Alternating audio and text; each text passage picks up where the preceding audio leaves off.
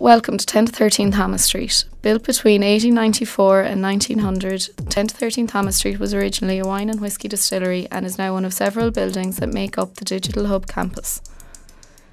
Recently refurbished, 10 to 13 Thomas Street is home to almost 20 content and technology companies. Companies ranging from graphic design, app development, and digital signage to e commerce and mobile payment systems are located here. Since its launch in 2003, the Digital Hub has been home to over 160 technology and digital content businesses. Our thriving nine acre campus is situated on the doorstep of Dublin city centre, with convenient access to all modes of public transport and a stone's throw away from many third level institutes and research centres.